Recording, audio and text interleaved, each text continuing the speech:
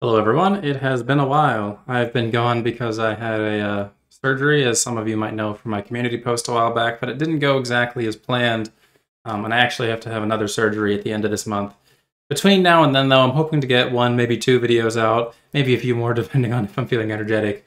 Um, talking about a few things that have been on my mind recently that I've been thinking about as I've gone through and continued my graduate education.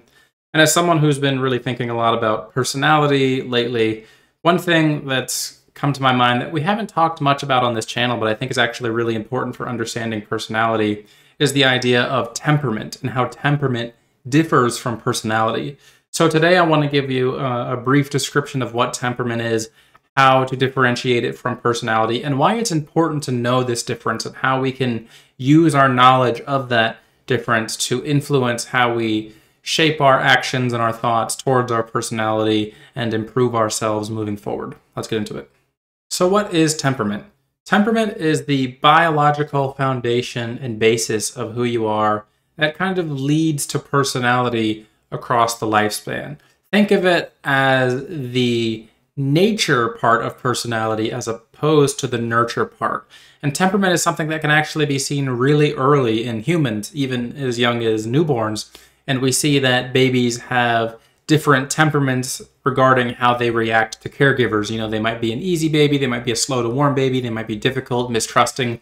These are all things that arise as temperaments very early on in the lifespan. And this temperament then evolves with you and your brain as your brain gets bigger and you develop and you become a child and then a person and then an adult and influences all of the nature components of your life that eventually lead to your personality.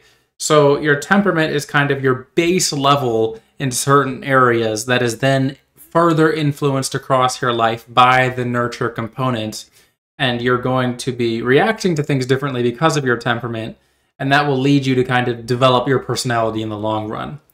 Now, temperament is something that you can't really change. Now, you can react to it, you can choose what to do with your temperament and how you're going to react to the natural inclinations that you have, but you can't really change the responses you have. I mean, you probably could with like, you know, maybe like drug therapy or something medical in that nature, but we're talking, you know, not about that sort of stuff. We're talking about, you know, you as an individual consciously thinking about yourself, your actions, your behaviors, your cognitions. The temperament component isn't really the thing that you're going to be able to change. Um, but temperament is a precursor and a part of your overall personality. Again, it's kind of the nature part as opposed to the nurture part. The components of what are measured in a lot of different personality systems are something that are going to be related very much to temperament.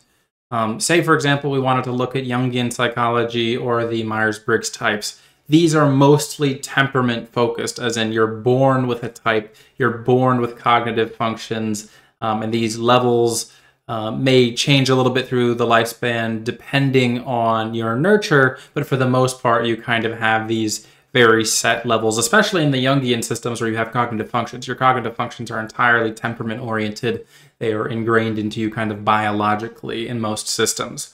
Now, this differs from something like five factor model or the big five, where you're going to see more of a combination of temperament and overall personality or things that are going to be more nurture oriented in that you can kind of change your big five personality traits. You can't change your Jungian cognitive functions, at least according to the theory, but you can change your five factor model traits at least a little bit, or you're going to be able to uh, change them to a degree that is relative to the level you're at. So, say, for example, if your temperament the biological level of your personality predisposes you to being around the 15th percentile in introversion or extroversion for the five factor model. Um, you know, you're someone who's pretty introverted, you can change uh, somewhat relative to that score, and that you might be able to move up through active and conscious effort to like the 25th or 30th percentile. And I talked a little bit about this in one of my prior videos where I could talk about whether or not personality can change. Um, but the, the difference is that the underlying temperament, the biological foundation, will always be there. So you can't change it more than what the temperament will really allow you to. Now, I do want to differentiate and talk about the idea that you can make conscious and active decisions that go against your nature or your even nurture. You know, you can make higher order thinking decisions that go against what your personality may be. And I might even argue that personality is the ability to react to your temperament and make decisions based on it, whether you're acting in alignment with your temperament or you're going against it. You can have someone who's naturally inclined to be very angry or frustrated. Maybe they have a gene that predisposes them to being angry, who is in complete control of that anger, and therefore that is not a representative part of their personality because they've put in active effort. The difference being between temperament and personality in this specific scenario is that the person who's predisposed to it, you know, they have the they have the angry gene temperament. I'm just making that up in this scenario. Um, they're going to be consciously battling against that.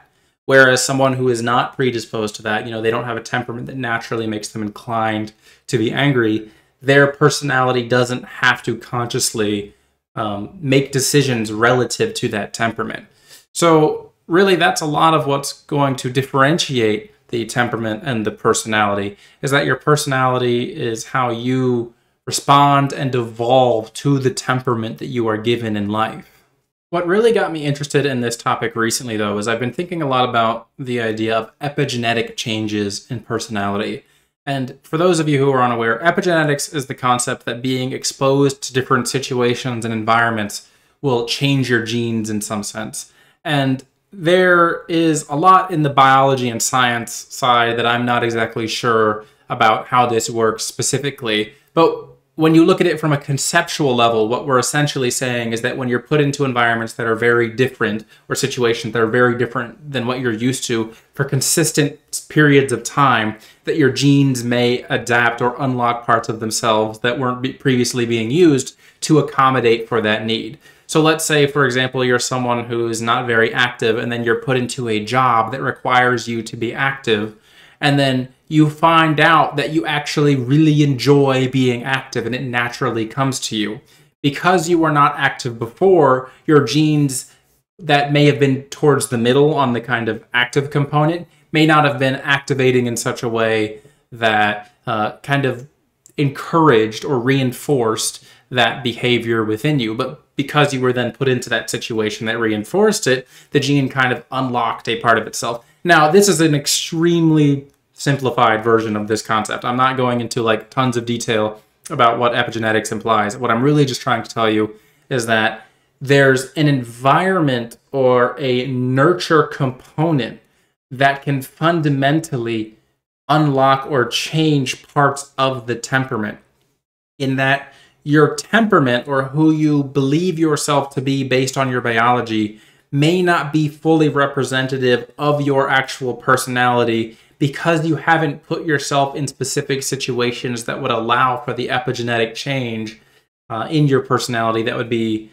um, relative to what your personality would be if you were in that place for a long time. I like to use myself when I'm talking about um, this situation, and this is anecdotal, right?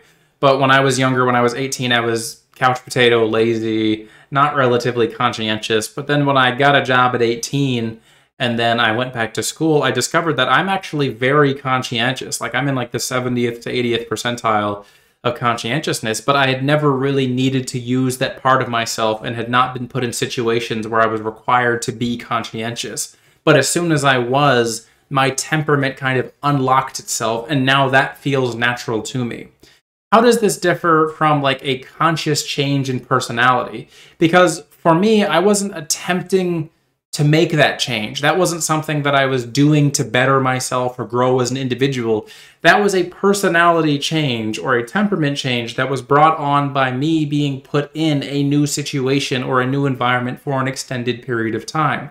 So essentially, the temperament itself reached a different level i don't want to say unlocks because that, that implies that there's parts of yourself that are like higher tier. It's not like a higher tier it's just something that was different that my personality and temperament hadn't been accustomed to that it could do that it didn't realize it could do and wasn't being reinforced. So yeah really the, the point is is that there's changes to your temperament that can be made through putting yourself in different environments or situations that might allow for that temperament change. Another really important thing to remember, though, about epigenetic changes to temperament and personality is that fundamentally the field of epigenetics proposes the idea that epigenetic changes don't alter your DNA in that these changes aren't permanent. You know, if you leave these situations or scenarios, or you go into situations that no longer reinforce the need for these genetics to be uh, present, then you might actually lose those behaviors. You might lose that part of your personality or temperament. And one way that you could think about this in over pers- personality overall is that the epigenetic changes in your personality are kind of like the capacity that your um, personality traits have to change within a specific range given their environment. So, you know, you might be put in an environment that requires you to be more conscientious and your temperament actually allows for that maybe a little bit more conscientious than you thought you were. So it kind of goes up to that. But your baseline might not be that. That's just where you have the capacity to be. So if you leave that situation you leave that scenario for extended periods of time you might find yourself reverting back to kind of that middle ground.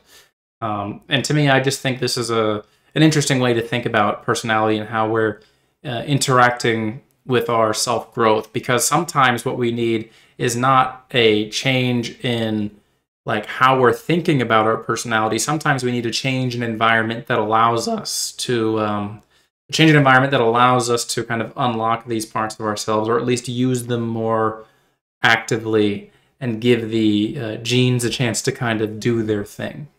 So, what does all of this mean for understanding our own personality and how we might want to make changes regarding our own personality?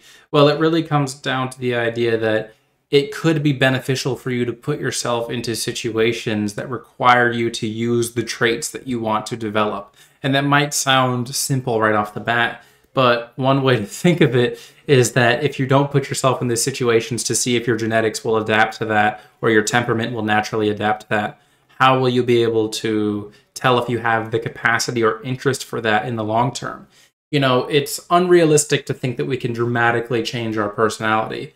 Um, one change for me that I found as I've gotten older, started doing YouTube, went back to school, is that my extroversion has actually risen a little bit because I've developed assertiveness, which is one of the facets of the five factor model. So while my social ability and the other components of extroversion haven't gone up, I have become more assertive and more willing to state my opinion on matters or you know speak up, organize these sorts of things and that is something that has come through me being in different situations and scenarios and discovering that I actually have the capacity for that.